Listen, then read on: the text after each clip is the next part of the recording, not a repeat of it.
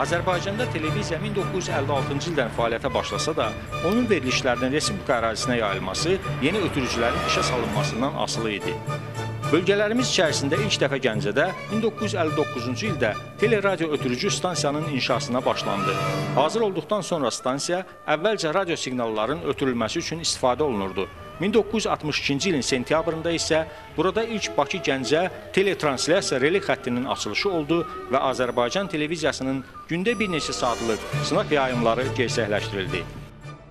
Bakı Kirabat radyo relay xəttinin başa çatdırılması qədim şəhərdə böyük bayrama çevrildi. Bu münasibətlə keçirilən mitinqə minlərlə zəhmətkeş toplaşmışdı. Kirabat Şəhər Partiya Komitəsinin birinci katibi Gözəlov yoldaş Zaqafqaziyada ilk radyo relay xəttinin vaxtından xeyli əvvəl çəkilib qurtarması münasibəti ilə inşaatçıları və şəhər zəhmətkeşlərini təbrik etdi. Axşam baş mühəndis Rıza Rızayev Kirabat Televiziya Mərkəzini Bakı ilə birləşdirdi.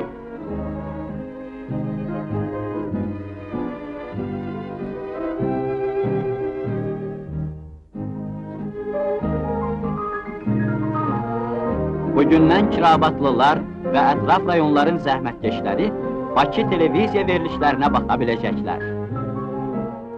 1962-ci ilin dekabrın 5-dən etibarən isə yayım tam olaraq həyata keçirilməyə başladı. Düz 50 il bundan qabaqki həmin tarixi Gəncənin necə deyərlər, televiziyalaşması günü hesab etmək olar. Müasir dövrümüzdə də Gəncə teleradio yayım stansiyası bölgələr üzrə ən güclü ötürücü qurğu statusunu saxlayır.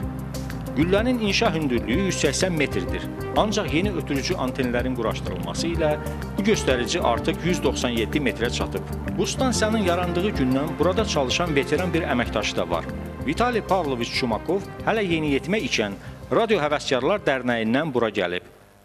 Я как паспорт получил, значит, в 60-м уже, в ноя- потом в 61-м, январь-феврале... O deyir ki, 16 yaşında pasport alan kimi bu stansiyada çalışmağa başlayıb və özünü çox xoşbəxt hiss edir ki, bu şəhərin televiziya tarixinin başlanğıcının və müasir dövrünün şahididir. Stansiyadan qərb, eləcə də qismən Aran bölgələrinə təxminən 150 kilometr radiusunda 9 respublika, bir Türkiyə və bir neçə regional telekanalların sutkada ümumən 300 saatlıq verilişləri yayımlanır.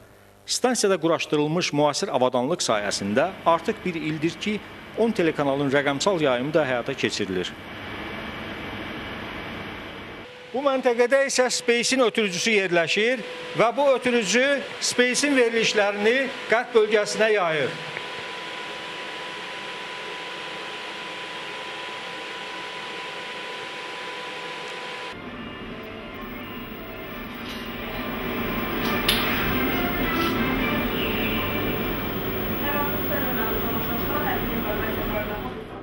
Gəncənin ən yüksək nöqtəsini simvolizə edən bu qüllə həm də televiziya tariximizin əhəmiyyətli bir mərhələsinin şahididir.